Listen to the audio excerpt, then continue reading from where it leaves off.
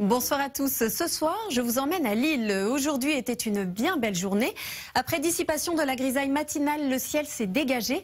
Le temps était donc globalement lumineux avec une température de 25 degrés. Demain, les maximas seront en hausse et atteindront jusqu'à 30 degrés.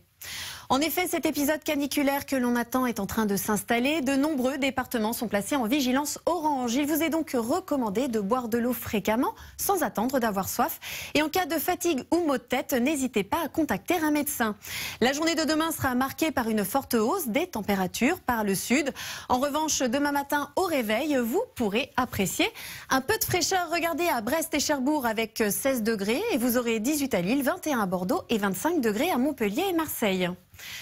Comme je vous le disais, la journée de demain marquera le début d'un nouvel épisode caniculaire. En revanche, en matinée, on devra à nouveau retrouver des nuages bas sur euh, la Bretagne, la Gironde et les Pyrénées-Atlantiques. Des champs nuageux d'altitude de la Normandie au Grand Est pourraient couvrir le ciel, apportant un aspect laiteux. L'après-midi, le ciel se dégagera sur la Bretagne, mais aussi près de la Méditerranée. Même si on apercevra encore quelques nuages, certains pourraient persister sur le centre-est.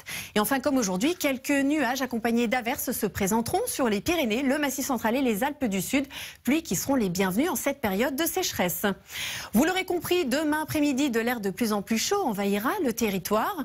Les températures seront stables près de la Méditerranée, mais en hausse ailleurs. On attend 22 à Cherbourg, 32 à Paris, 36 à Bordeaux et jusqu'à 37 degrés à Toulouse.